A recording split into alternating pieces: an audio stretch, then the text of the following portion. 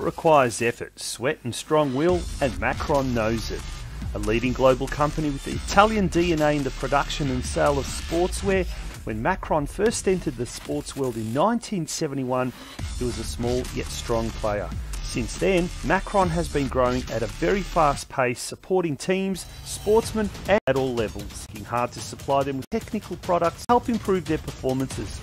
With over 4 million pieces of stock available in our Italian warehouse, including an extensive range of on field, off field, and free time products, we cater for everyone from amateurs to professional sporting organisations. Ranked third most prominent football brand by UEFA, Macron keeps expanding its presence worldwide and now even includes Croatian giants Hajduk Split, HNL Prva Liga outfit NK Šibenik, as well as Melbourne based Croatian community club NK Bunker, amongst its ever growing international family, and there are more to come. Work hard, play harder, Macron, your next teamwear partner. For more information, visit our website at www.macronvic.com.au or call us now on 1800 Macron.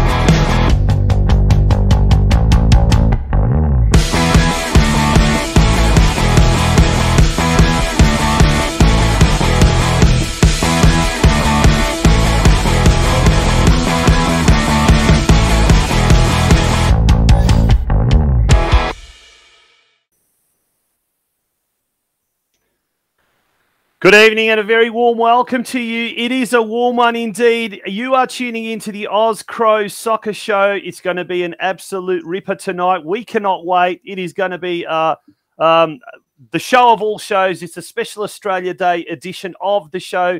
My name is Tonchi Prusats, and with me, as he is every week, Josip Zilic. Josipe, how are you?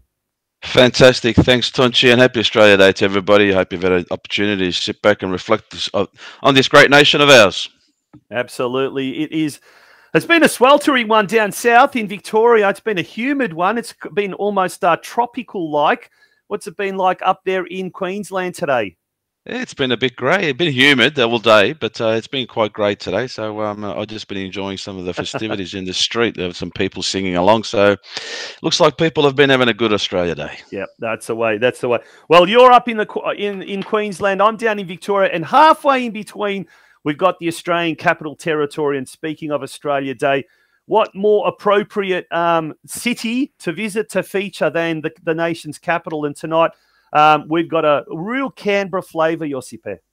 Yeah, we definitely have. Uh, first up, we're going to be speaking with our host and club in focus this week, which is O'Connor Knights, and speaking to some of the committee and coaching technical staff there, and hearing what they've been up to and what the, what they're um, planning for in the future. Yeah, fantastic. And then after that, mate, it's going to be hard to top. In episode two, um, a very very special guest. Now, um, He's uh, normally based in Croatia, based in Zagreb, but now with the winter break at the moment, he's managed to uh, uh, come back home to Canberra, and we'll be catching up with uh, none other than the legend of the Vatreni um, and the current Croatian under 19 coach, Mr. Josip. Yeah, Josip Šimunić. Šimunić, yeah, that's going to yeah. be awesome. Uh, we did hear, yeah. um, for those fans of our Facebook page earlier today, Um, he had a very special message for everyone, and I like the way he said he's made 105 appearances for the Croatian national team.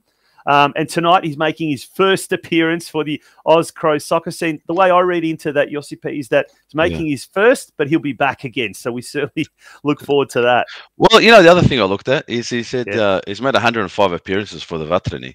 Ah. Um, but, but he's nervous about tonight. So yes, mate, big, big occasions, right?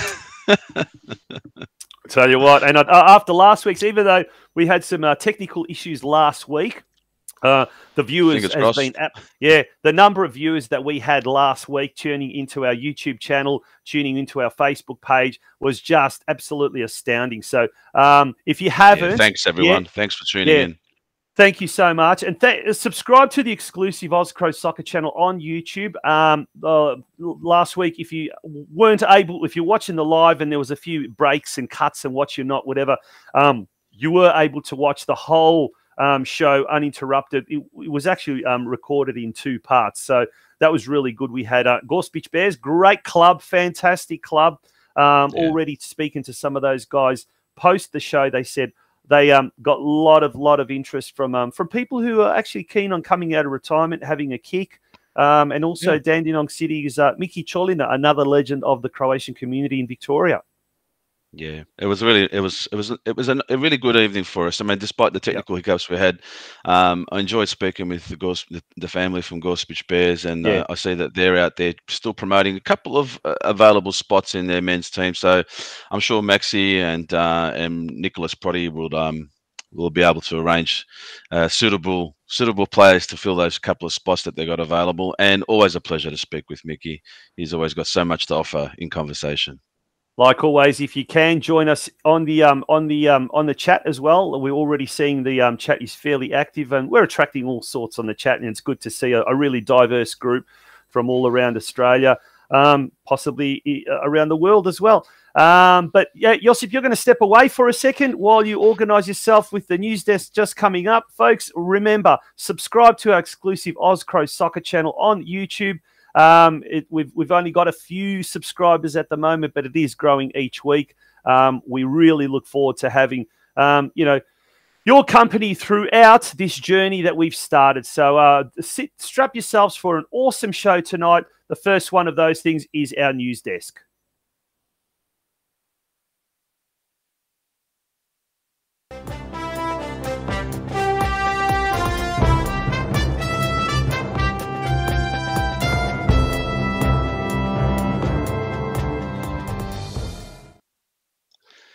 Welcome to the news desk, everybody, and uh, episode two's Australia Day uh, theme show. And what a way to start the the news desk mentions, and with uh, Adelaide Croatia paying special recognition to a long time long term member Ante Kilic from Kilic Engineering, recognised in the Order of Australia medal ceremonies today.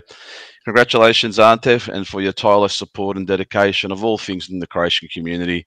Um, the, the, list of work he's put together and support he's provided is endless. So uh, hats off to you and well done to Adelaide Croatia for recognising uh, the gentleman's and his company's contributions over the years.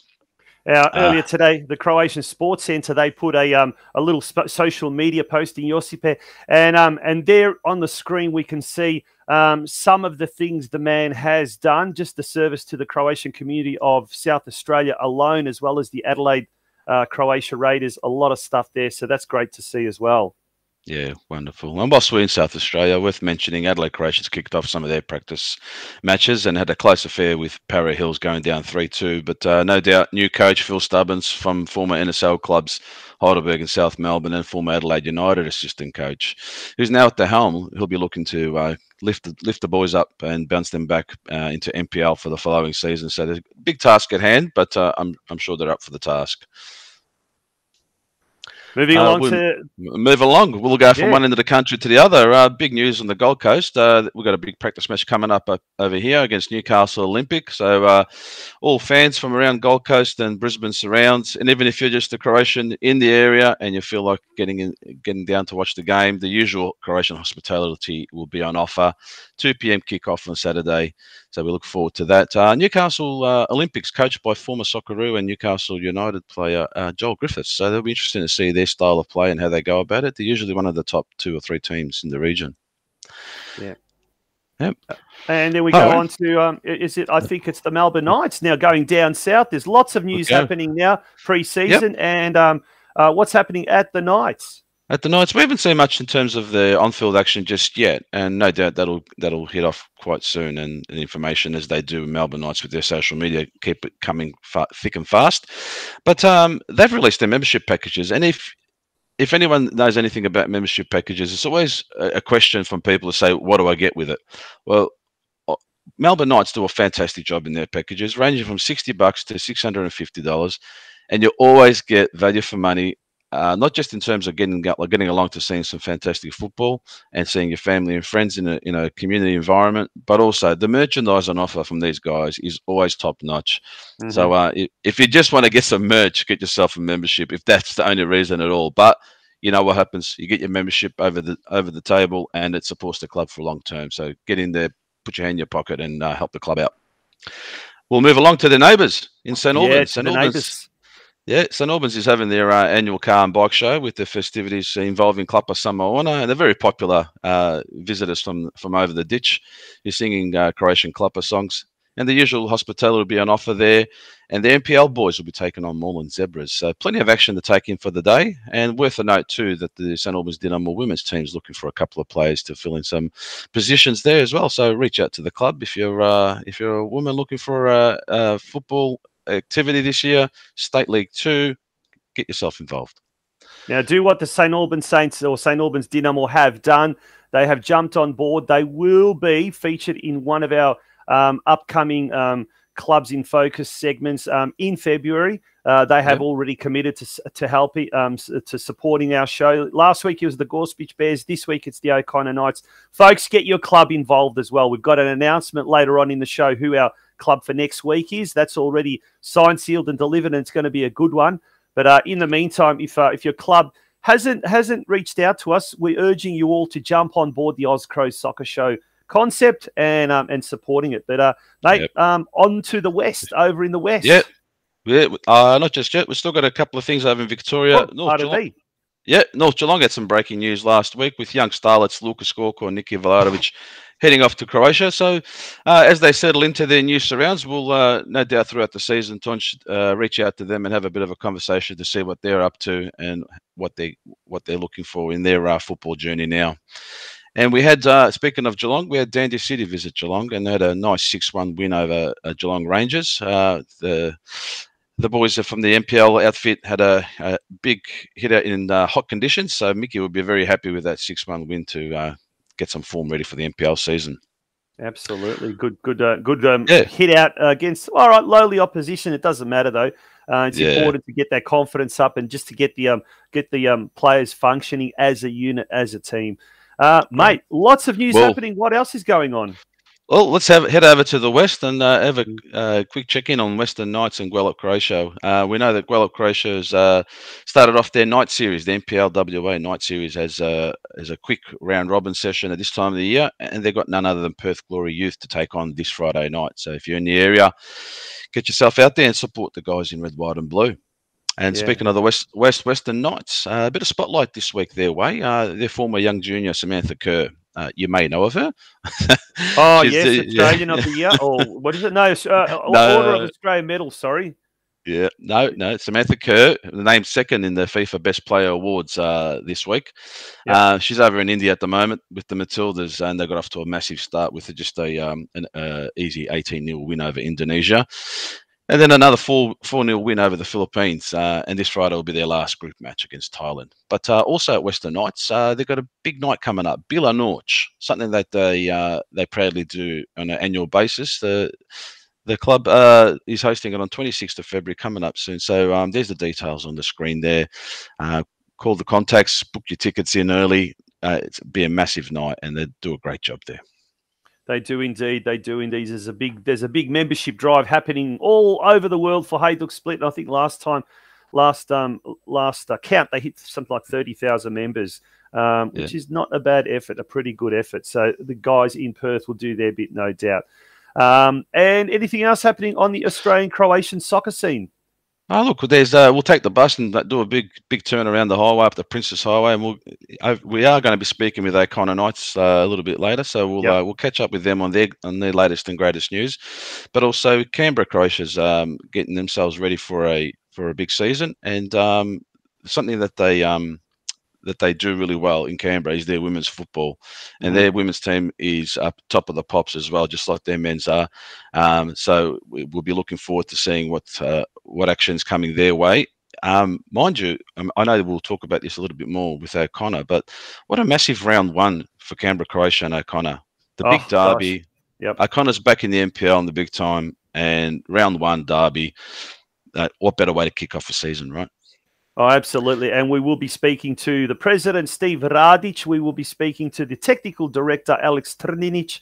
And also, we will be talking to Niko Kresic, who's a who's a young fella, but he's uh, he's part of the leadership group there at the O'Connor Knights. And uh, and then immediately after that, we'll be talking with um, our, our very special guest tonight, Canberra-born Josip Šimunic, former Socceroo yep. legend. Uh, heaps to get through, and we heaps haven't even touched through. the uh, yeah the stuff yeah. in Croatia. That's right. Just a couple more things over uh, as we get out of Canberra and we head up the highway into into Sydney.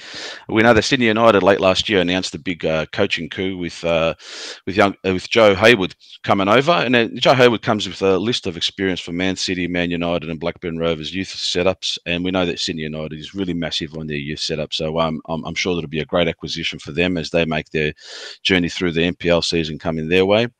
And speaking of Sydney United, we'll uh, find an opportunity to speak with um, uh, their neighbours, King Tom, about the progress that they're doing for the annual Croatian soccer tournament, which we're looking forward to. Yeah. yeah. and we'll hear that hear how they're going around their plans. And um, look, we know that COVID's buggered us up for the last couple of years. Uh, you know, fingers crossed, and God, God willing, we don't get any of those issues this year. And we're looking forward to getting that back in back on track. Speaking of Sydney, um, their neighbours down the Princes Highway, Hurstville Zagreb's put a massive call out at the end of last year and continuing this year to support a, a big, big major de development at Jubilee Stadium. And people might think, why would they be promoting Jubilee Stadium? But the on-flow activity from building the work at Jubilee Stadium will flow into the southwest corridor where uh, Hurstville Zagreb has been, you know, denied opportunities to build their own facilities mm-hmm. and infrastructure rights. So if people, we'll, we'll, put that link up after the episode tonight. Um, get on board, support that change, and um, you know, we'll see some good things happen for Hurstville Zagreb. Brilliant, brilliant. And before we wrap things up, let's wrap it up in the Hunter, Newcastle. Well, we can call them the newest club to the federation but they have been around since 92 reintroduced this year and um, good news is their sponsors are coming on thick and fast and i'm delighted for them all. Not just because i spent a couple of years down there up there whichever way you want to look at it. Yeah. Um, but it's just wonderful to see the community coming together the way it has um, I, I, still have contact with an old mate, Karl Zivkovic, over there, and um, you know, keeps me up to date with how things are going. But it's it's just a delight to see that uh, people coming together and keeping the spirit alive within the community. Yeah. And their uh, Division Three season will kick off no doubt soon. But seeing the amount of sponsors they're attracting uh, yeah. is just a delight. And look, it's a second generation on, on today on Australia Day when we kind of.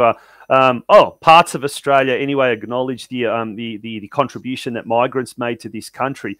Um, it was our parents that came to this country, though, the trailblazers. Um, in many situations, in, in fact, in all situations, they founded the Croatian soccer clubs all around Australia. Um, it's great to see the second generation getting involved, and now the, even the third generation as well. Um, and, and look, you know, it's something we're talking off air with some of the blokes coming up shortly.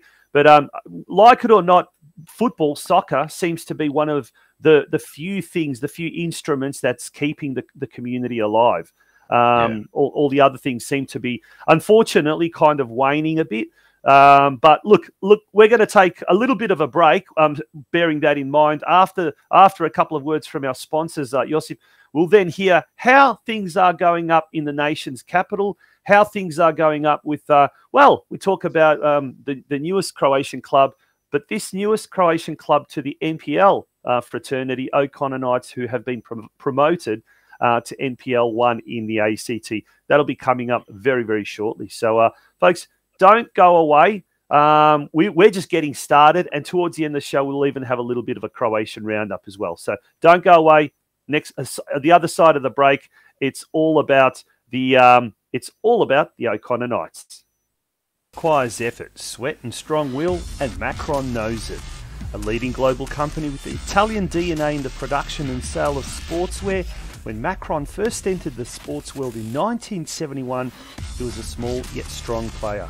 Since then, Macron has been growing at a very fast pace, supporting teams, sportsmen, and women at all levels, working hard to supply them with the best technical products to help improve their performances. With over 4 million pieces of stock available in our Italian warehouse, including an extensive range of on field, off field, and free time products, we cater for everyone from amateurs to professional sporting organisations. Ranked third most prominent football brand by UEFA, Macron keeps expanding its presence worldwide and now even includes Croatian giants Hajduk Split, HNL Prva Liga outfit NK Šibenik, as well as Melbourne based Croatian community club NK Bunker, amongst its ever growing international family, and there are more to come. Work hard, play harder, Macron, your next teamwear partner. For more information, visit our website at www.macronvic.com.au or call us now on 1800 Macron.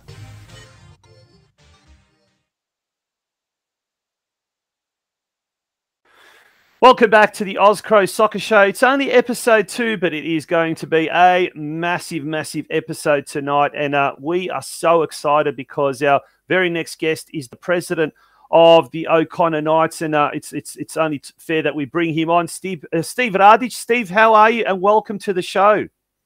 Thanks, boys. Thanks for having us. Hey, Steve. How you going, mate? Good, now, good. mate, mate, let's talk about the O'Connor Knights. It's um, the 25th year anniversary. So, um, for those that probably aren't so familiar with the club, and you you've been there from from from day dot, you've been there right from the start, mate. Tell us a bit about the O'Connor story. Oh, the O'Connor story uh, started back in uh, 96, 97 was when we were founded. Uh, guys like us who are sort of um, uh, gave up our spots at, at, at, the Canberra Croatia Club at Deakin and we're getting a bit older and uh, decided to start up a bit of a state league team and uh, carry on playing football in Canberra.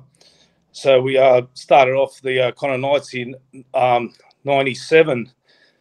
Um, we found ourselves, you know, attracting more players, young players, you know, winning the comps and stuff like that in the state leagues and eventually got uh, promoted. We were in the NPL in back in uh, 2004 and were there for six seasons. And then um, eventually, uh, Capital Football decided to do an overhaul of the of the system. Us, we were always um, mid to top of table, you know, in the top four. And us and Juventus were ousted out of the league in uh, 2009. Yeah which sort of uh, nearly depleted us. But uh, yeah, we struggled on. You know, stayed up. We still had a few old boys coming up playing state leagues and stuff like that. And um, about uh, five years ago, Miro and Aleks Trnic, our technical director now, um, sort of approached us boys in the committee, the little the little that was left of us, and decided, and we decided to uh, bring back the club if we, you know, try to promote the club and get back into the Premier Leagues and and go with the juniors. And yeah, here we are today, back in the Premier League after well, it's been twelve years. So yeah, so it's fantastic. It's a, a big story. Steve uh, it, thanks for that little uh, journey and history history lesson for us there. When you when you look back at the numbers compared to say that that period just before you sort of uh, dipped out of the Premier Leagues or the, the highest league at the time, and now where you are, what are the playing levels like? Are, are there, you know, 100, 200, 300? How many players are, are, are connected to O'Connor at the moment? And, and what was it like well, prior to that dip? Well, well, prior well prior to that, us being in the Premier League, we didn't have uh, juniors. It was just our uh, first grade and our reserve okay. grade. Yep um, Capital Football sort of used that as a reason to get yeah. rid of us, and you've criteria. Um, yeah, that was well. They didn't really have a criteria like probably you other states have. They just Yep. I decided to do an overhaul of the system, and yeah, so we were other clubs were introduced like uh, Cooma and Goulburn, and uh, sort of Goulburn in in the league for about a year, and they left because you know just weren't uh, no, weren't competitive enough. yeah. So, saying that, we rebuilt. Like I said, if it wasn't for um, Miro Trninic and Aleks Trninic approaching us, and uh, we just rebuilt. Um, told Miro it was going to be an easy road, you know, trying to get back players, gather in players, trying to build the momentum and get the wheels rolling again. And we found ourselves, you know, five years later with a strong first grade team. Um, we've got our first grade reserves. We've got uh, in our uh, we've got in our CPLs. We've got our 18s, 16s, 13s, and 14s, and then we've got all the way down to our juniors from our sixes up to the under 12s. Oh, So, so the club's the club's gone from you know 40 odd players to like you know a couple of hundred players. Yeah, and- it's and a lot with- of work, isn't it? yeah with that growth with that growth steve like obviously i mean it's it's such an exponential growth in such a short time um, and and that transformation um, obviously means a lot more work for the committee for yourself as president um, has has that also meant a lot of new faces parents jumping on board um, people that probably weren't involved in the in the in the soccer community before coming on board um, have how how is the sort of the, the number of volunteers and committee members has that expanded accordingly Um, with the uh, committee members, we've sort of had the same committee. It hasn't really expanded in that that sense. Um, saying that, like we've all handled our roles and just sort of expanded. Of course, it's sort of come in the last couple of years. Mhm. We haven't had time to sort of grow a committee or get extra committee members, but we've had. Saying that, we've had, had heaps of help and heaps of parents offer to help out on game days. You know, if someone cooks you one barbecue at the end of the day, it's good. So yeah you know, yeah, any uh, help's welcome. any help, any help's good help. You know, um, you know, from the club supporting us, uh, uh, you know, Australian Croatian O'Connor Club. So we're always back there for a few drinks. They support us, and obviously we're part of them. And Yeah. um, yeah, so, uh, we've it's been a journey for us and a learning curve as well with uh, you know letting other people in and and evolving. So it'll take Yeah. time, but it's all getting there, and we seem to Mhm. be on the right track. As we grow, we'll have to uh, uh, attract more committee members and more uh, and more um, yeah members and staff. Yeah. Look, it's always it's always a difficult task um, trying to uh, get people on board because there's always that um, that that the perception and that belief that once I'm in, I'm never going to be able to get out of it. It's too much work. I'm I'm busy. Everyone. End of the day, we're all busy, right? So let, let's just put that on the table now and wipe it away because we all we're all busy and we all got things to do. However, I think I think a, a good one a good one for everyone to take on board is uh, if you can just get someone like you said, one barbecue uh, even if it's just one one raffle book and you go around through the crowd and sell one raffle book any step any little contribution i'm sure steve you and the team would be first up there to help people understand how to do the work and guide them through it Yeah, we got we got a small committee of five of us. We all lead by example, and then all the boys, you know, they follow on. If if if we ask, you know, from our, you know, from our first grade to our reserve grade to our Mhm. 18s and that, if we delegate some work to them, they're all willing to jump on, give us Yeah. a hand because you know, at the end of the day, we're there for them. Like I tell them, and like you just said, then you know, time, you know. we're, it's not an excuse, you know. It's everyone's got time. It's just about if you want to put in. If you can put in a little bit, it Yeah. makes a you know difference. Now, mate, down here in Victoria, we've, we're lucky to have three Croatian-backed clubs in the NPL, in the top tier of the NPL, and then a fourth one, um, North Geelong, in the in the second tier, so NPL two. And I'm I'm I'm of the firm belief the more the merrier. I think the the more Croatian clubs who are aiming for for that elite status, the more that are playing at the highest possible standard, the better. Um, in Canberra now, um, or in the ACT, we're lucky now that we've got two Croatian-backed clubs. It's great to see. Um, round one, the big Croatian derby. yeah what a way to start the year 10 years um, of, of waiting, or maybe even more, actually 13. Um, what a way to, to, to, to herald your comeback to the to the big time. um, a, a, game against the big brother or big sister, Kakogodmi Tokajimo. Um, yeah. Mate, what, what's what's as a president of, of the O'Connor Knights, it's your home game. What are you really looking forward to come? Um, is it Saturday, March the 19th? Is that right? Yeah, that's correct. Yeah, Saturday, March 19th. Sveti Josip. The big day. Yeah. it's going to be good. It's going to be great for the Croatian community down here in our Canberra. It's yep. good to have both Croatian clubs in the National Premier League in Canberra here, you know, like Molinas, Ima, but there's it's good to have two of us in the league. You got other, you know, nationalities who don't have like clubs in the league yeah. or yeah, you know, so we're strong, you know, we're united, we're we're all good friends on both sides of the pitch, or you know, so you know, there's a bit of always friendly rivalry. It'll, it'll always be oh, a bit of rivalry, but at the end of the day, you know, we're going to make a big festa. It'll be a big day we'll get together at the end of it and go back to the club at O'Connor, and you know there'll be a few yaints and a few few pigs on the spit and, and a bit of and a few drinks and from yeah. you know go on. But it's it's um it's exciting. It's good. It's good to have two Croatian clubs in the NPL and you know, I'm excited to see what it's going to bring. Like, like I said, it's always good to have a bit of rivalry, and there'll always be that bit of rivalry. But yeah, that's no that's sport. That's sport. As long as there's no harm and it's all in good, all in good faith because that's you all support each other. It's good. Uh, look, Stipe, before we before we uh, let you go and, and, bring in Aleks to have a chat to him about the uh, the technical development in the in the club, um, is there anything you'd like to say to your members, your sponsors, your committee people? Uh, just a, a, big message before you, your season gets underway in in about four or five weeks' time. Yeah, well, I'd like to thank you guys for having us on. Um, I'd also, you know, just like to thank our sponsors. Um, we've got the like the Australian Croatian Club, Tony Sepp there, and the committee who do a lot of work. Um, and help us out regarding, you know, from barbecues to Zabave and stuff like that. You know, uh, Tomislav Šimunic from Empire Building Group, um, Kovac Interiors. Uh, we got Mirko Milic from Canberra Toyota.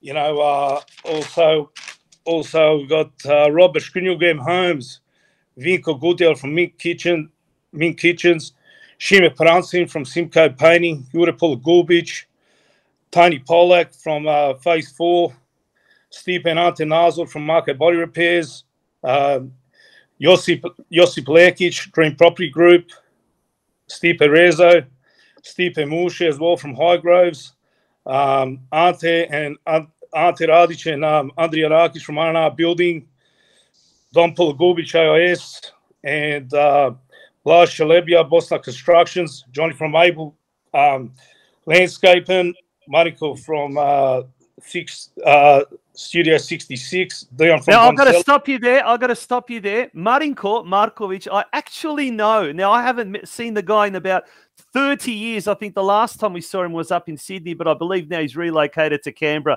because of Yulbov. Um, yeah. So a big, big, shout out to uh, Marinko there. Good on you, mate. yeah, he, he, does all our web design and our new um, you all our stuff to do with our web packages and designs right? and photos. So I reckon, Josip, we, we might need a, a website uh, done up for the Oz Cro Soccer Show. We know, we know where to go. We know who to go to. yeah. And finally, myself and my partner, Nicholas Sportrich, as well, uh, sponsors as well of the club. Yeah. Yeah. Just a final thing before I go. Um, um, we've got a GoFundMe page going on for the Australian Croatian Club at O'Connor there. It's our home base. We're doing up the upstairs. There was a bit of water damage and stuff like that. So we've had a bit of a grant from the government, but we have to also put in ourselves. And if if anyone's willing to con- contribute a little bit, whatever they can, it, you know, it all helps. If they can just go on the you know Australian Croatian Club webpage or on our Facebook page, and any help is uh, gratefully appreciated. Awesome. Predsjedniče, yeah. thank you so much for that. Really, really appreciate it. And wishing you and everyone time, at the. Knights all the absolute very best for season 2022 and beyond. Yeah, thanks, boys. Uh, thanks for having us on, and all the best. Good on you. Thank you. We'll speak soon. Okay. Mate. Steve Radic, um, the president of O'Connor Knights, a genuinely nice bloke, and apparently he's um he's uh up your neck of the woods holidaying or something. So you might run into him down at a I don't know Broadbeach oh, Mall. If he's around Saturday, Stip, if you're still listening, Saturday, come and let's have a chavapi roll at Gold Coast Knights on Saturday. Može. Um, now, moving along very much at a breakneck speed, our next guest is uh, the man who set this up. He, he, he was the one that kind of approached us, was willing, was interested in the club um, coming on board and, um, and being featured in our club in focus. Aleks Trninic. Aleks, a big, big welcome to Welcome. the Oz Cro Soccer Show. Dobro večer i lijepi pozdrav svim Hrvaticama i Hrvatima diljem Australije. I just want to congratulate you on setting up this show, Love it. soccer show to cover all the Australian Croatian soccer clubs around Australia. So it's a good initiative to complement Melbourne Knights' uh, night train. Yeah. And just a quick shout out to their host, um, Anthony Zovak, and his big Hercegovačka glava.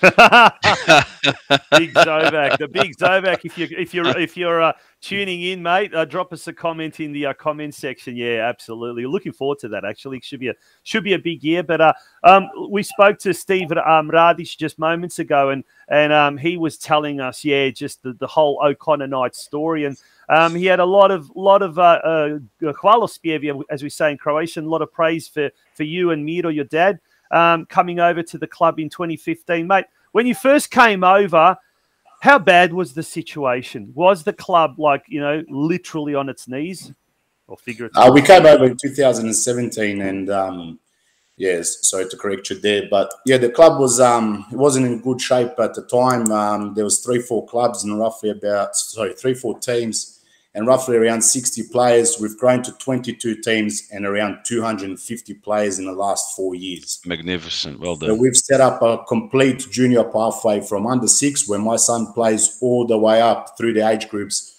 and um, into the CPL youth, which is the second tier of the of the youth boys competition here in Canberra. And obviously, our first grade has been promoted in our second attempt since promotion and relegation was introduced. Um, in our first attempt, they unfortunately called the season off after seven games due to COVID and all that. But yeah, we've grown we've grown at a rapid rate over the last um, four years, and obviously Miro had a vision um, how he wanted the club to progress and you know to establish a proper proper club, and the committee which I joined um, in the second year um, was more than willing to go with, and we all pushed in the same direction, and we're just seeing the fruition of our works now, and hopefully you know we can um, have some even better success in the coming future.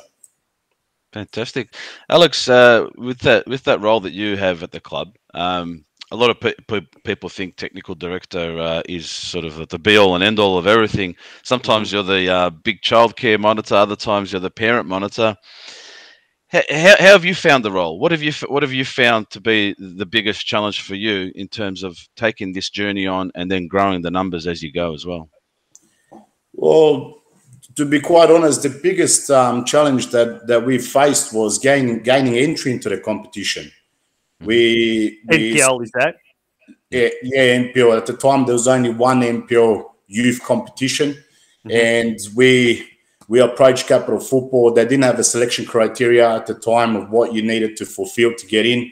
We approached them. We said to them, we want to establish that's what we want to do. That at the time, there was only 13 clubs in the competition. We wanted to fill that 14th spot. Unfortunately, we had some detractors, clubs that we consider our sister clubs were publicly supporting us, but behind our back, they were um, gathering the troops to go against us, which is disappointing. But unfor- uh, for us, and um, when the Hrvatski Inat kicked in, once we got rejected twice, we got rejected. On the third time, we approached Tomislav Šimunic, who's a platinum sponsor, and his lawyer, uh, John Irvine from Trinity Law, and we fought this all the way to the end. We wanted what we wanted, and we finally achieved it. In our first um, first season, which was last year, we finished third on the club championship ladder, and so far it's smooth cruising. The probably the hardest part about managing youth is parents. So otherwise, everything else is fine. I think that's a universal problem, Yeah. isn't it? How unusual! but but now that we talk about parents and we talk about obviously the juniors that were that were uh, had to be set up, um, the, the entire infrastructure. Did you oversee that, or did you have people helping you? Like, did you have, say, for example, a junior director, a women's football director, a senior men's football director, or did you have to kind of oversee and implement everything? We started from complete scratch. We did not have one single junior at the club, but of course, to to be successful, you need to employ capable people, and I'm quite happy to say that out of 11, uh, sorry, out of 14 youth and senior coaches, 11 Sunashi, Hrvati. So it's good to have good people Excellent. around you that are all yep. pushing in the right direction. Yep.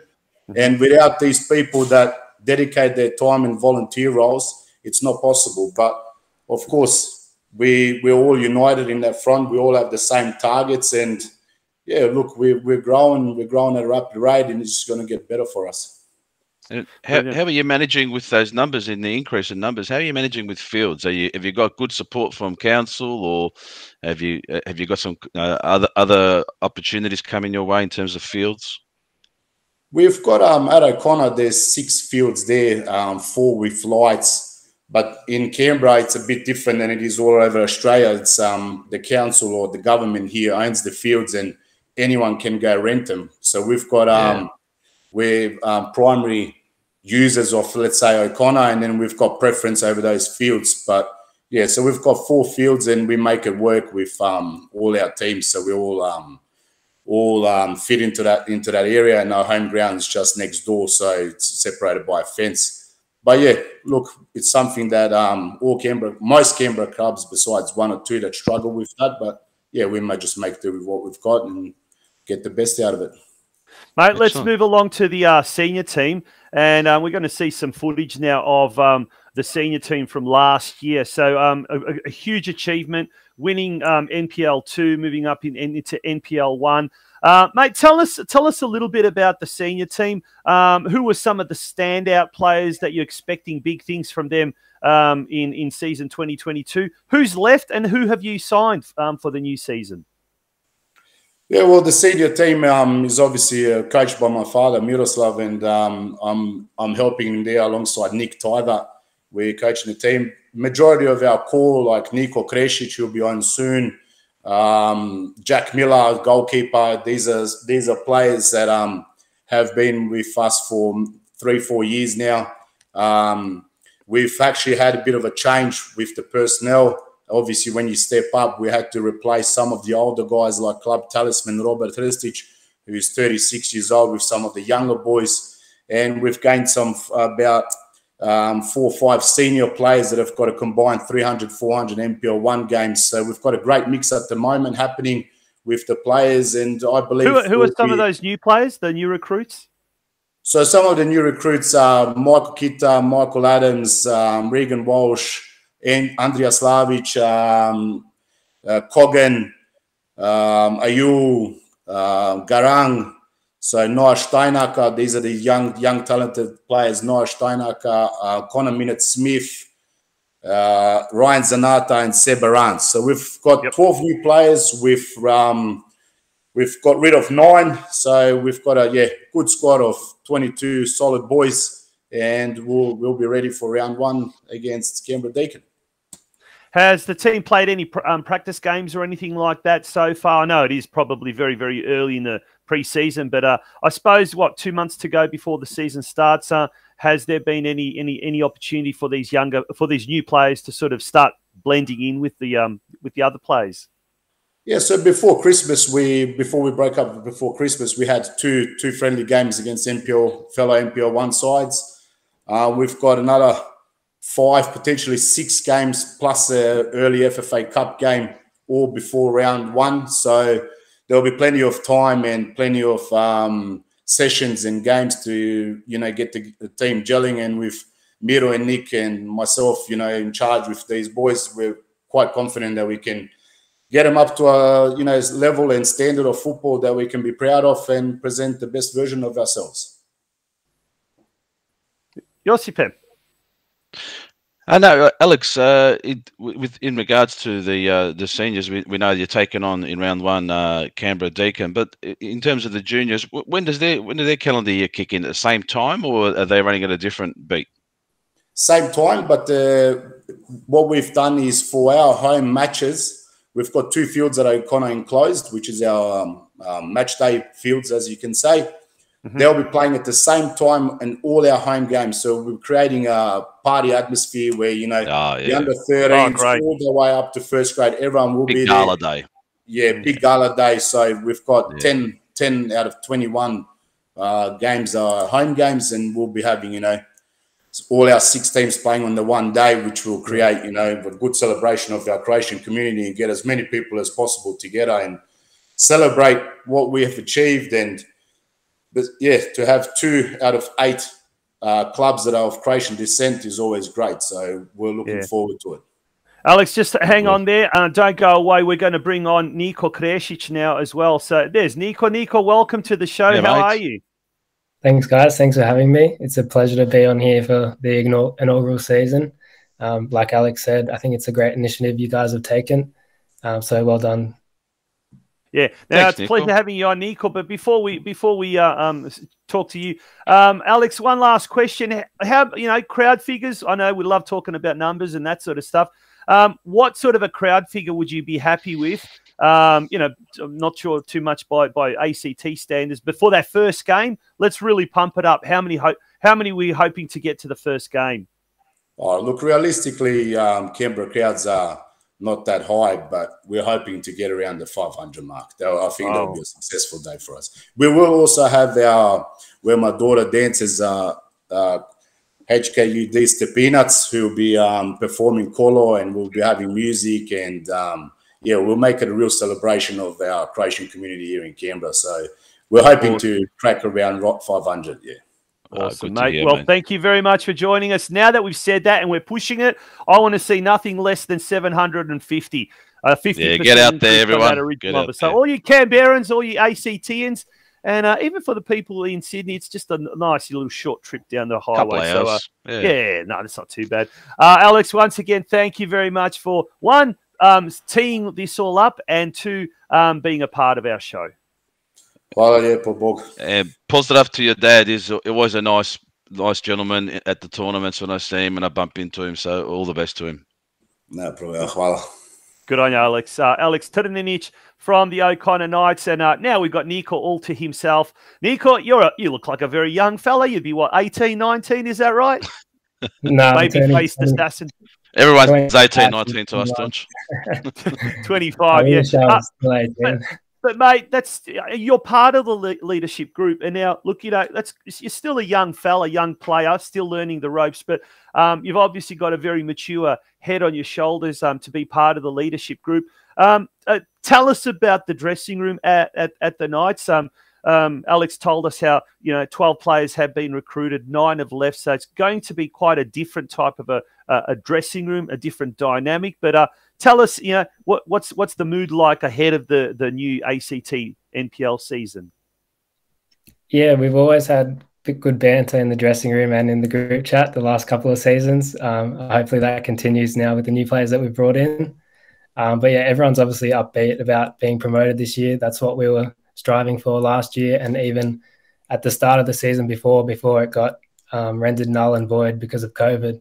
So it's good to finally be in back in the NPL one. Uh, for me personally, I used to play for Canberra Croatia back when they were mm-hmm. called mm-hmm. Canberra FC as a junior and uh, in in the seniors for a couple of years. So it'd be good to be back in the in the NPL one. A lot of our players actually have played there before, um, so it'll be nothing new to us. Same as usual. Mm. Uh, it's good to hear.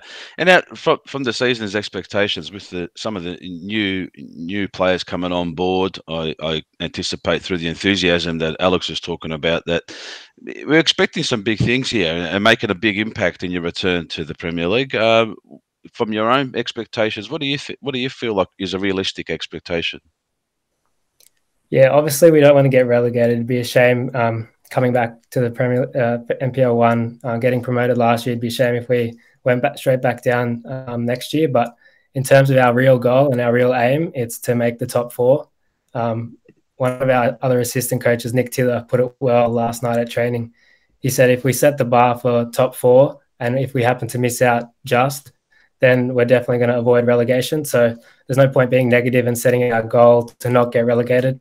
We may as well set the bar high And then if it doesn't happen, then we'll still have a decent season. So definitely top four. Now, um, the standard, what's the standard like the difference between NPL 2 and NPL 1? For a lot of around Australia where they do have multiple NPL divisions, it, it, seems to be quite a quite a big jump. I know down in Victoria, every time an NPL 2 team gets promoted to NPL Victoria, um, they, they struggle and often find themselves either getting relegated immediately or um, languishing down near the bottom. Uh, what is what is the difference between standard there in, in, in the ACT and uh, how confident are you of, of being able to survive in that first season? I think the biggest difference um, in Canberra is that there's no bad teams uh, in the NPL one, mm-hmm. uh, whereas in the NPL two, there's to be honest, there's a few games that we go in and we're expected to win. Uh, whereas in the NPL one, every game is going to be tough, so we can't underestimate any opponent. Um, there's no easy games. There's no freebies. Um, so yeah, the, the quality on average is a lot higher uh, in the NPL one, and the intensity and the speed of the game is much much faster. Um, and it was in, in, saying that too, and and you know, a, season is a long time. Uh, when you look at it on the on black and white, it looks like it'll be a quick journey, but we all know too well that uh, if you start winning, it starts to go a little too fast. If you start having a few defeats, it starts to drag on.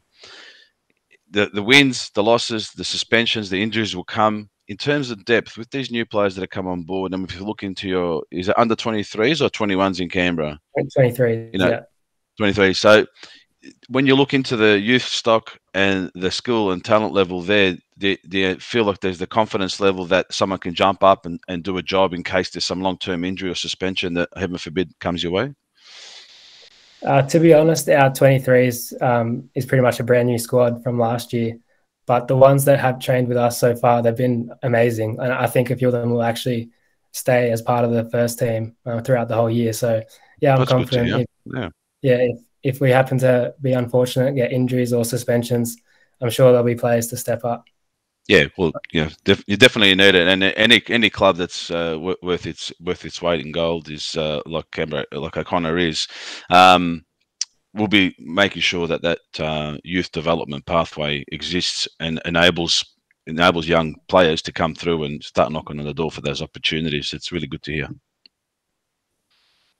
Niko, thank you very much for your time. We really appreciate it. We are running out of time because we've got another Canberran coming on, a very, very big name, Josip Šimunic, who's uh, whose brother, by the way, is is, is uh, Tommy Tomislav, the um the, the main sponsor there at O'Connor Knights. So very strong connection to the O'Connor Knights, mate. We wish you all the best. We wish all the boys all the very best, and uh, hopefully we'll get you guys a little bit later on in the year, um, just to to chart your progress and uh um, like, like I said, um, we wish you absolutely all the very best for season 2022. Thanks, guys. Appreciate yeah, it. Thanks all the best, mate. We'll be looking out for the uh, NPL live uh, broadcast for that round one derby and and all the action that comes with it. Yeah, please do. Thank you. Good on you, mate. Good on you. Niko Krešić from the um, O'Connor Knights. And speaking of those live broadcasts, how good are they, mate? Um, it's just great that you you can practically spend your entire weekend locked up in your study or on the TV watching um, um, watching NPL from around the country. Technology has really come a long way in the last two well, three years. I'll tell you what, Tunch, if, if Paramount Plus is anything to go by, you and I are set for a very long, very long career behind the microphone. Oh, I tell you, if anyone else agrees with that um, that observation by Mr. Zilic, pop it down in the comments. Um, I, I have, haven't been very impressed at all. I haven't seen anything that bad oh, for geez. a very long time, mate. And I, you know what? If I compare that with some of the with some of the footage and, and the wind blowing in the microphones during NPL oh. broadcasts, give me that any day because it's real. Yeah, not that not that crap. Sorry. Yeah, exactly. That's uh, special comments by Josip Zilic. Um, guys, we're going to take a little bit of a break. When we do return, um, we'll be talking to the man who has um, has really made an international name of himself.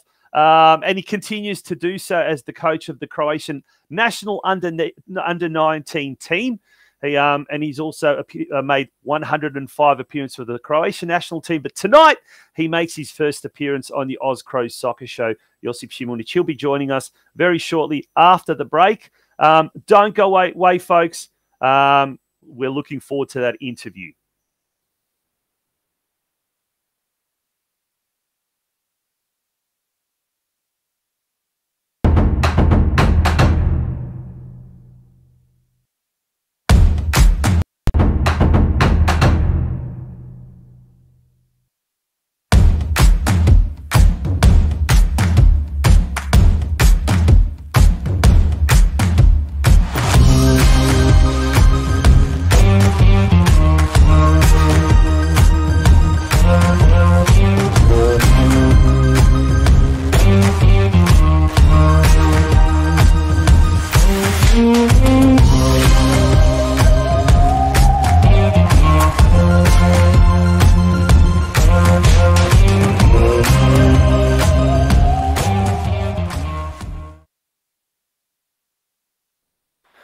Welcome back to the Cro Soccer Show. It is episode two, and um, big shout out to our sponsors, um, our business sponsors tonight's episode, um, Macron Victoria, and also to Pleme, the app that is keeping the Croatian community together.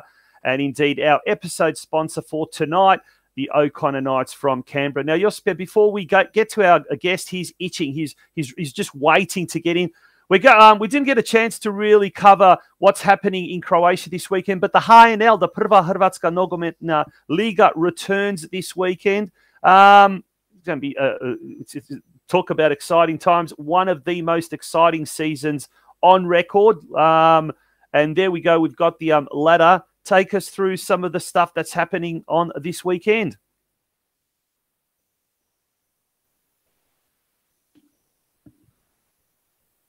We lost Josip. Oh, Yep, oh, we lost you there right. for a sec. I think we just muted. Sorry, uh, had you muted? Yeah, yeah. So the the HNL, what's coming up this week? Uh, we'll go through maybe some of the um, fixtures that are coming up as well. Um, yep. Oh, I think I've lost it. Have I? Have I lost it? Oh no, that's not good. Um, we'll bring the ladder up and just quickly go through the ladder. Um, while we go through the um re- the the things have, coming up. Yep, things have really have tightened up, and uh, since the since the break, we've uh, at, at, the time of the break, we've seen that the ladder's really congested up there, especially the top four spots. Dinamo's worked its way back up to the top with the game in hand. The Rijeka and Osijek have uh, sort of stumbled a little bit and gained a couple of draws just before the Christmas break, and Hajduk's held its ground in, in that fourth position. Um, this weekend, we, we see uh, Istra at home taking on Gorica. Um, and Osijek at home taking on Slaven Belupo. Now, that could, that could be a little bit tricky, as we know Slaven Belupo can be uh, one of those sort of prickly sides that can upset can upset a team. Um, down on the coast, there's a bit of a derby happening with Šibenik taking on Hajduk Split in the uh, Macron Cup, we'll call it. Mm. Both teams uh, yes. kit, kitted out by our show sponsors for this week is uh, um, Macron.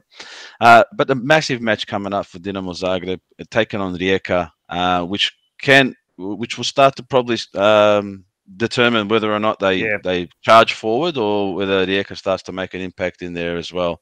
Um, That's the big news this week with Dinamo, um, comings and goings. But Petar Bočkaj signed from Osijek in the uh, winter break, but there's talk of a big transfer um, making his exit from the Maksimir. Who was that? Sorry, mate. I, I did lose you just for two seconds there. Yeah, you got me there. Yep. Uh, so we're, we're talking about the big news in recent days about a, a possible departure from Dinamo Zagreb, bound for the EPL. Oh, Mislav Mislav Orsic. Uh, yeah. The the big uh, story coming out coming out in the last 24 hours is that uh, Burnley FC is looking to acquire themselves Mislav Orsic, um, rumored to be around the 10 million dollar mark. So uh, it, that should be. Um, consolidating the news over overnight, but we look forward to hearing the news um, coming out. Yeah, and um, a, a, another another big name big name signing during the week for NK Osijek, um, the ex Hajduk captain. Um, he was he's been signed as a free agent now. I think he was out in the sort of into the at somewhere in the Middle East. Um, he's being paid by his club, a Saudi club, I think to 2023. So money's not an issue here. He, he has now signed at Osijek. Um, Osijek's ex Hajduk or former Hajduk contingency is growing now. Um, yep. And look, they've they've lost a player like uh, Petar Bočkaj, who was uh, very attacking, very on the left, but they've gained a player who could be Osijek's version of, of Marko Livaja, the Hajduk um, spearhead. And that was one of the problems, I guess, with um, with uh, Osijek in that first part of the season. If we bring the ladder back up, they haven't scored that many goals. Um, we don't have the, we've just got the goal difference there. But look, uh, they've got a goal difference of plus 15 compared to Dinamo's plus 26. Um, and I think they've only scored something like 25 goals. So um, they really need help in the um, in the striking department. Caktaš could be that that that solution, uh, Josip. Yeah, it was a, he was a little bit of an X factor when he was at Hajduk, so maybe he can yeah. bring that to the table now for Osijek. Yeah, so that's going to be um, something to really, really look forward to. Now, I'm probably finishing it off on a not so good note. Um, earlier this morning, in the second match of the uh, first round at the Euro 22 Futsal um, Championships, uh, Croatia went down to uh, Russia 4 0. Um, not exactly the, the, the result that that we wanted um, um, in the other game. Um, yep. Slovakia and Poland drew two two. So that, if in effect, means that now after two games, Russia are on top with uh, six points from two games. Croatia, uh, by virtue of their win over Poland, are in second spot. Now they take on Slovakia. Um, I think it's on Sunday morning, if I'm not mistaken. Um, in in, in their last um, last group game, they just need a draw. Basically, oh well, yeah, they need they a do win. because They look, they need a draw. Draw's fine because head to head they've beaten Poland, so they'll go through. Yeah, yeah, and Poland would really need to defeat Russia and and, and, and you know have a really good day out. Russia looking very Yeah. good. I watched parts of that game, very very tough. Um, so Croatia still got a chance to get through to the second round, um, but they do need a good result against Slovakia coming up on on the weekend, mate. That's that pretty much. I think. Oh, before we go, there is one other thing as far as the HNL. Um, this guy has got the best name, absolutely the best name, Tonchi Kukoc. He sort of sounds like he should be playing basketball and not um, Yeah. football. Now, he's a bit of a wild child, an ex Hajduk junior, um, was supposed to go to the second division um, and play with um, uh, Orijent. Uh, no, sorry, I think it was Opatija, um, which is a team that he did fill in um, last year. Um, he's now been signed by Hrvatski Dragovoljac, who have got like six or seven ex NK Rijeka players, including the uh, Rijeka junior coach. Tadic. So uh, that's going to be another new look team, Dragovoljac. But uh, black does suit him, doesn't it? Yeah, well, so and it, with the with the uh, artwork on the arms too, it makes, makes it stand Yeah. out a little bit more. yeah, well, well, we'll we'll we'll have to ask our second guest if he knows much about Tonchi Kukoc. Like I said, he's got a brilliant name. Um, but that that gives us an opportunity now to introduce our next guest, and what a pleasure it is in our only our second um second episode and second season. Uh, to have a, a- guest of this caliber, uh, he started off at Canberra, Croatia, made a name for himself at the Melbourne Knights, and one of the most coolest, calmest um, defenders you've ever seen. Um, him and, and Pokoni David Cervinski, they were just a delight to watch down at, at the Yeah. Melbourne Knights. Um, and then he went for, um, overseas, an illustrious career. But enough about me, I'm talking too much. Let's hear it from the man himself. Um, let's Yeah. introduce to you the current Croatian under 19 coach, Josip Šimunic. Josip, a massive, massive um, hello. Welcome to the show to you. Tonchi and Josip, uh, thanks for, for calling me. It's uh, it's great to great to be on, mate. Thanks for calling me. Hap- and happy Australia Day, huh? Happy Yeah, happy Australia Day, mate. Day. Um, now, now you're you're having a little bit of a break with your lovely family and your young family. You're back in the uh, hometown or the birthplace of uh, of uh, of Canberra. What do you call your hometown these days? Is it Zagreb? Is it Canberra? Is it sort of somewhere six months here, six months there? COVID, really? I'm, nah, nah, my my hometown is always going to be Canberra. I was born here, so Uh-huh. uh, Zagreb's a beautiful place, and and uh, eto, but ipak ipak I was born in Canberra. Yeah, yeah, great, great stuff. Josip, from one Good Josip news. to another.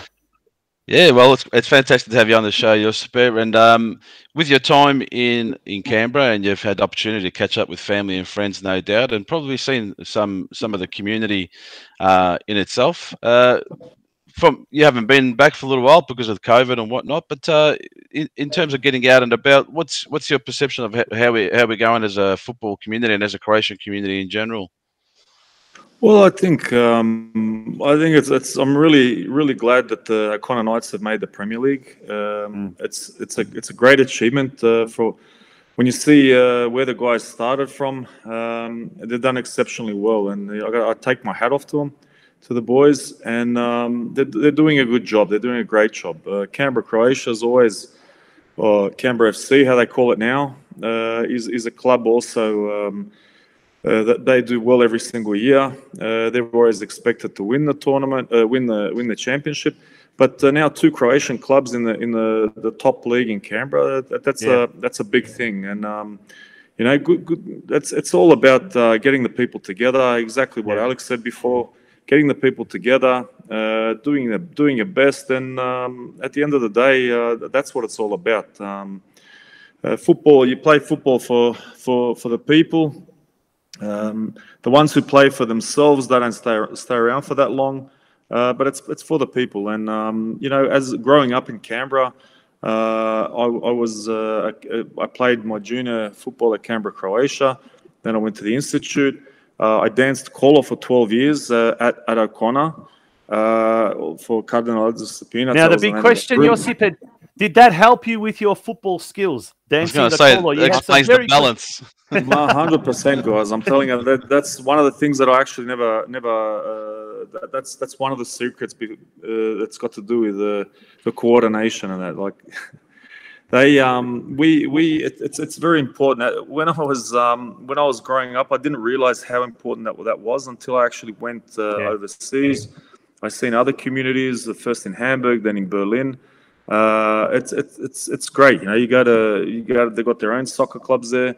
Yeah. Uh, you got church on Sundays, and, and and it's it's very very important. I mean, you guys know that better than me, yeah. but um, yeah, it's it's. Uh, now, now you bring a really good point, and, and I'm gladly going to correct you because you said now um, they're called Canberra FC. Guess what? They're back to being called Canberra Croatia. Um, so two years ago, I think it was, there was a, uh, a, a, well new new rule, I guess, where clubs could call themselves by their old name. So Guelph Croatia, Canberra Croatia now are actually able to be called that, which is which is really good. But mate, um, uh, you bring a really interesting point about the Croatian community, um, and and you went to Germany, spent 14 years or whatever it was, lived in Croatia for a bit.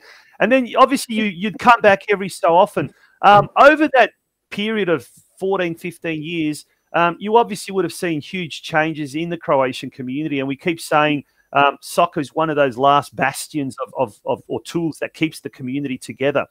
Uh, how important is it now? You've got young kids, Josip's got a bit older kids, I've got younger kids as well, the third generation that is.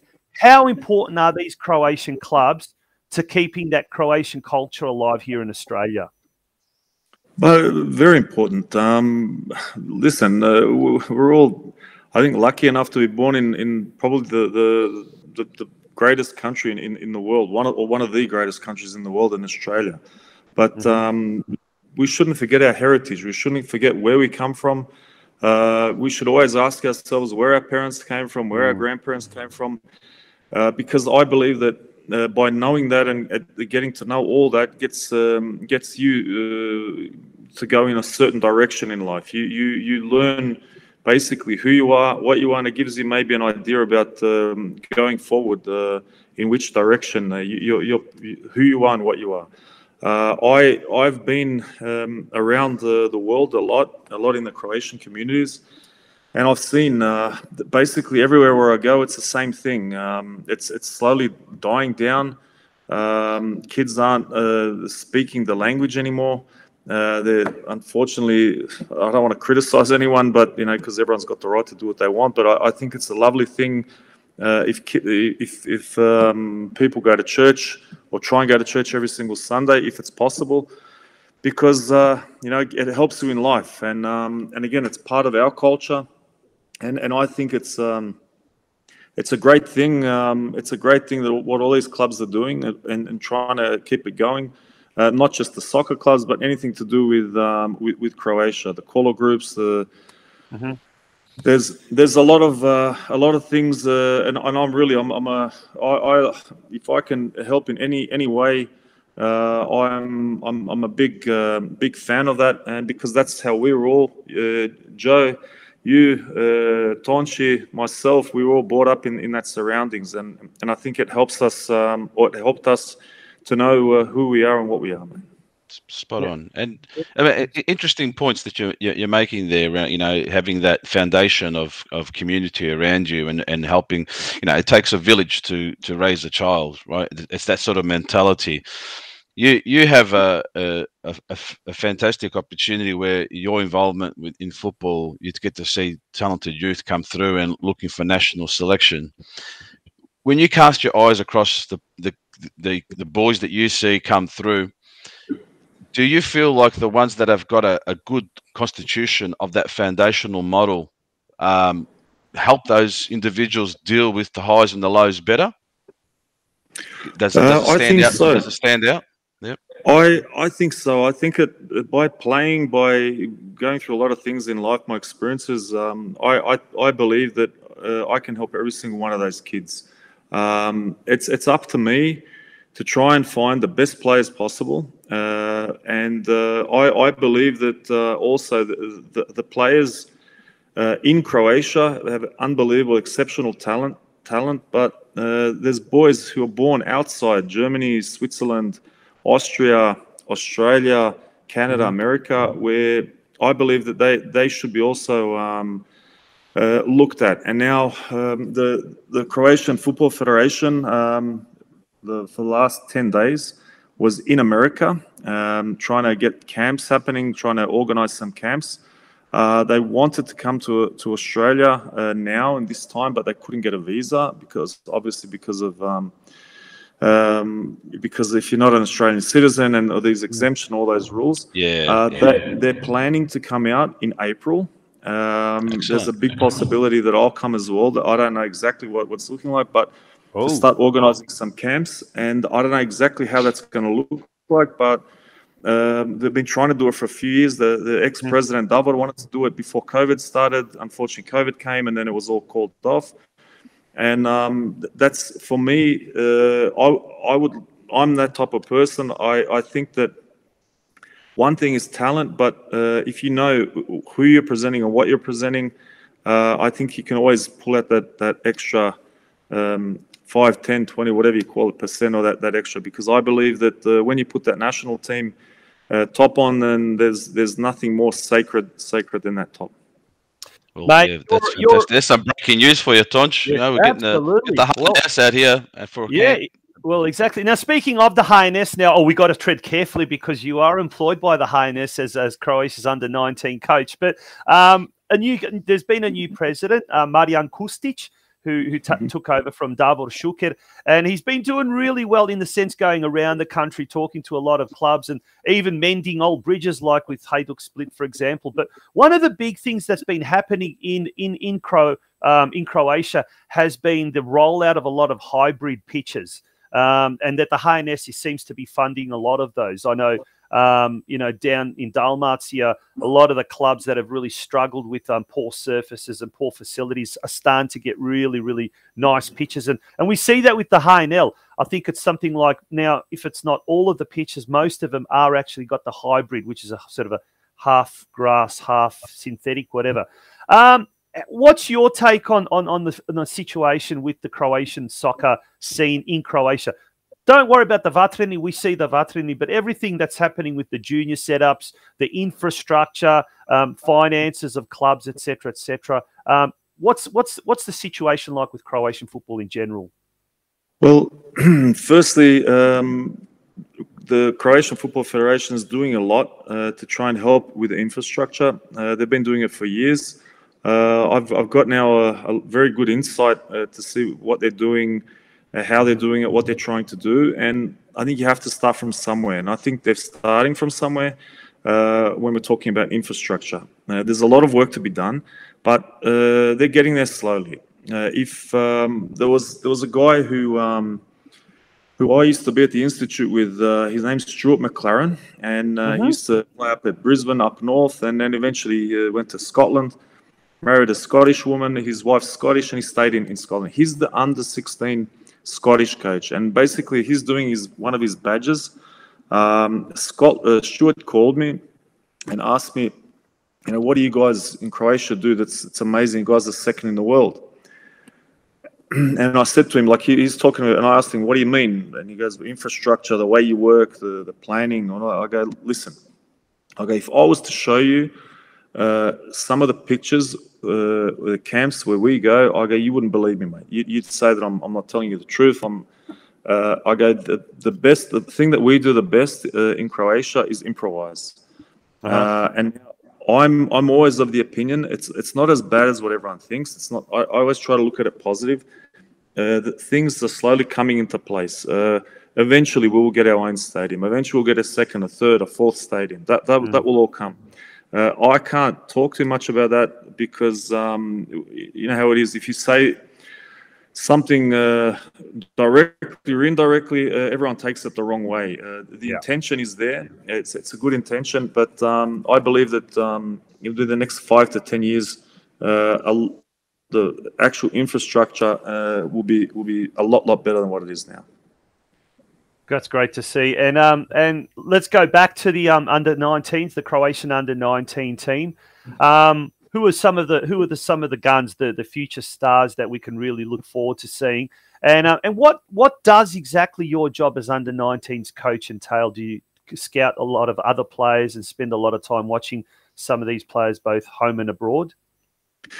Well, basically, when I first started, um, I, I, got to be honest. I had I didn't have too much of an idea um, where to start, uh, but you got to start from somewhere. So um, I got a lot of help from uh, the coaches from the under 17s, the instructor Pero Kirpan, and basically um, it's up to me and the guys that who are with me in my in my team to to look at all the plays week in week out.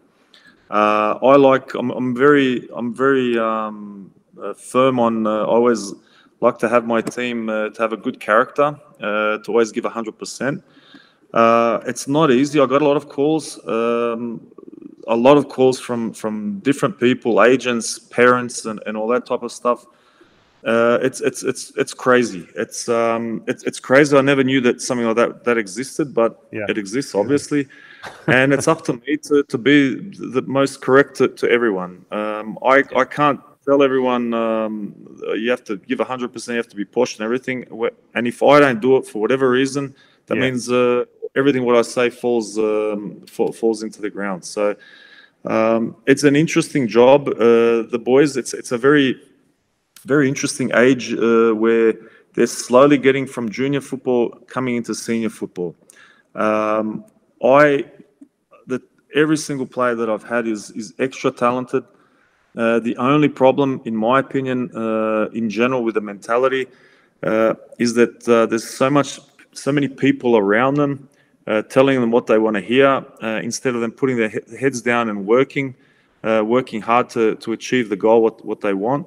And um, and they have to they have to I um, I, I, believe take everything into their own hands because to, to rely on a parent or an agent or someone from the club uh, they're not going to get very far. And and slowly they're, they're starting to see that uh, it's actually not not their fault uh, the way that some things are structured here, but um, uh, in in Croatia. But it's it's getting better slowly. Uh, I'm I'm going to do my best, uh, however long I'm going to be there.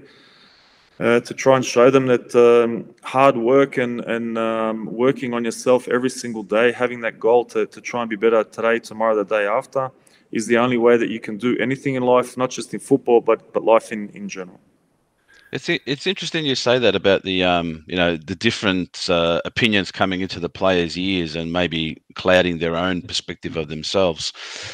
With the young group that you're working with at the moment, how many of them how many of them play in a senior setup somewhere, whether it be a second division or a third division? Uh, in total, I think we have seven seven players, seven or eight players who play regularly yeah. in the senior football. There's a few that have gone up from me to, to the under 21s to Igor to Bišćan. Yeah. Uh, they're playing obviously in the first uh, first league and playing really well. Uh, it's a very good generation. Um, I think in the next few months, I think that number will get closer to, to 13, 14, 15, the, basically wow. the whole squad. So. Yeah. yeah. Do you feel like do you feel like that jump coming into the, the, those players that are now in senior football, in whatever league they might be playing in, and if you get some more jumping over, do you feel like maybe those voices from the periphery might sort of quieten down a bit whilst they focus in clubland at a senior level, where they get hard and fast information, where they have to work out whether or not they're going to take it or not? Listen, uh, there's in life uh, when you have also uh, disappointments. Um, that that's also one part of life. Uh, life life's not always planned out uh, to be uh, beautiful and, and, nice and uh, your whole life. When you when you do have a um, a disappointment for whatever reason that is, or for whatever. you have to get up and, and keep going, mate. And you've got to prove that person wrong, or those people wrong, or your coach, or your whoever. you have, to, and at the end of the day, you have to prove it t- towards to, to, yourself because um, if you want to make something in life, um, uh, it's it's whatever's. I always I'm always of the opinion whatever's easy in life, uh, it doesn't uh, have any any vrijednosti. It doesn't have any mm-hmm. value. Uh, whatever's difficult uh, has a lot of value, and that's mm. that's that's how life is. Um, like I said, in in football, in sport, and and in life in general. So. Speaking of life, um, life in Croatia, what's it like in Croatia? I mean, you know, we, we know it's a beautiful place to go for a holiday, um, and, and generally people say it's very difficult to live. But but your experiences, you know, just adapting to the Croatian mentality as opposed to the Australian Croatian uh, mentality. Croatia, honestly, is the for me the, the most beautiful place in the world to live. What I've uh-huh. seen. Um, yep. If if you're financially uh, okay, that you don't have to uh, worry too much about uh, paying the bills, I think there's no better place in the world to live. Um, it's very very safe, uh, which is I think the older I get, the more and more I see that um, it's it's the safer the place is, the, the, the better it is. And when you have uh, children, your family, then um, you, you as a as a parent, you want them to be, um, you know, being you want them to be be safe always. And I think uh, Croatia is very very safe. Um, it's a beautiful country. I, I, I, don't know where to start from. Yeah. the mountains, mountains to the sea, to the, the coast, uh, to, to uh, Slavonia, everywhere you go, it's it's it's beautiful. Good, Good people, a lot to offer. If, yeah. If, if you ever if ever give up a career in football, I think you've got a career in literature in, in poetry, mate. That was from the mountains to the sea. To je nešto posebno. Make a song. We can write a song, yeah. mate. We'll have to sing Absol- song Absolutely, but uh, yeah, we'll have to. Yeah, there's there's a quite a few. Well, we had Mickey Cholina on last week, Dandenong City coach and drummer of Major Minor, so we might be able to uh, speak to them as well. But uh, all jokes yeah. aside, Josipe, how can we now bridge that gap between the diaspora and the, the Domovina. How can we, with Croatian, with football, um, get both the Croatian football scene and the Australian Croatian clubs closer? Is it a matter of um, of brother sister arrangements with with clubs? Is it a matter of um, academies down under, or whatever the case may be? What, what, in your eyes, can we do to, to to get even closer than we are? I think that what the Savez is trying to do now, I, like I said, I hope it, it happens in in April. Uh, what they're doing, they're doing the first step. Um, I've been talking for years about something to, to make some type of arrangement, some trips, some camps. I don't know what. I, I know that the clubs have came here. The Dinamo came a few times and, and, and all that. But uh, you know what? It's it's got to be it's got to be um, pushed and it's got to be uh, honest. And uh, I think that the first step, what the Savez is doing, is the most important step and everything else after that, I think uh, with the more and more experiences uh, that they have, they'll come to. Um, I, I, think that they should p- potentially open the door, or that's what will happen, for all good young kids, uh, not not good, any kid, uh, if they want like like to come to Croatia for a trial anywhere, in any club that they want to go live there because of soccer. Uh, get open open the door for them and and and uh, that's yeah. I think that's yeah. that's the most important thing and I think that's gonna happen very, very quickly. And at the end of the day, um, not everything's soccer, man. Not everything's football. Uh, there's more yeah. important things in life than, than yeah. football, even though we all love it. But um, football is one part of life, um, and and after that, there's a lot of other, a million other things that are probably more important than football. So. Bill Shankly wouldn't agree with you, but I think we do agree with you. Bill Shankly, the great Liverpudlian who said, what would he say? Life is not a matter of football. Football is not a matter of life or death. It's more important than that. More important than that, yeah. yeah. Hey, uh, Josip, that was maybe in the 60s. Just, just on the back of that question from Tonch, but maybe a little bit more uh, poignant towards the player itself. Now, let's take let's say for example round one of uh, the Canberra Premier League was on this weekend and you're and you're around in the stands. There's there's a young there's young players who are up out on the pitch.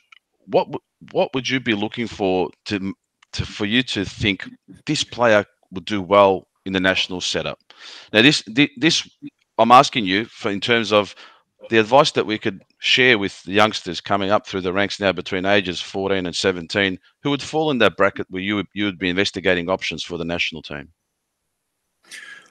Okay, there's there's a few things. Um, when when I watch any type of game, like again, I'm I'm learning along the way. Uh, what I've what I've noticed, um, or very often, I've made assumptions about certain players when I watch certain games. Uh, is that one game cannot really uh, it's it's hard to tell if someone has a blinder scores a hat trick. Um, that's always good. But uh, how would he? How would that player be in a different setup? How would he be in a in a in a in a in a more more difficult surroundings? Um, and then again, it's it's hard to assess what type of surrounding that that game was that I just saw. That player scored three goals. How would he do in, in another another type of league, a more maybe quicker league? Uh, and it's hard to it's hard to, to tell sometimes. But uh, there are certain things that you look for. Uh, there are certain profiles, of certain different positions that profile player that I look for. And if I was to see someone a few times uh, who would impress me, whatever I'm looking for, uh, I would like to always give a player like that a chance. Uh, we're going to have a, a friendly game now, uh, I think on the 10th of March. Um, and I've got seven or eight players who I would love to give a go, and I'm going to give them a go, uh, who I've watched. Uh, and my my um, my my the boys that are working with me, we've watched them. We've got reports down. We do reports every single time we watch games and I'm going to give them a chance. Uh, and because I believe they deserve a chance for what I've seen and what, what my uh, colleague have seen. And then at the end of the day, you're going to be put in a surrounding, uh, and if you do well, then you're going to keep you're going to keep getting called up. It's as simple as that. So absolutely. it's not easy to see someone score a hat trick, and then you yep. think, oh, this this kid's amazing. Uh, you have to put him in in that setup um, because it's hard to sometimes see what type of um, uh, quality there was in that game um, and it's it's it's hard to tell sometimes. So yeah. Now, mate, before we let you go, we're, almost um, at the end of time. The referee's about to blow his whistle, but before he does that, we're going to ask one one quick question, mate. You've you've had a very successful career from a Canberra boy, boy that worked his way up to the old National Soccer League and then went overseas and, and made an international star of himself. Um, what's what's the, the the I'm putting you on the spot here. What's the one biggest thing that you piece of advice you would give to the young players out there that are tuning into the Oz Cro Soccer Show if they are wanting to be a uh, professional footballer overseas? There's two things. Um, try try to become better every single day, every, through every training and every game. Uh, every time you you get on the field, do everything you can to be better, uh, day in, day out, week in, week out, year in, year in. Uh, I always say to the boys, uh, the, the, best example of, of that, what I just said, is Luka Modric. Uh, and now it's easy to say everyone's seen Luka's career, but uh, Luka Luka had had his problems uh, when he went from from Dinamo to Tottenham. A few months. It, it, took him a while to settle in, but then he became. He kept working on himself, and then he became the best player in England. He went to Real Madrid. At the beginning, they were they were saying this one of the worst transfers ever. Uh, Luka Modric, uh, years later, uh, best player in the world. Uh, missing the, the sky's the limit. That's yeah, that, that's one thing. And the second thing is enjoy yourself you have to enjoy what you do.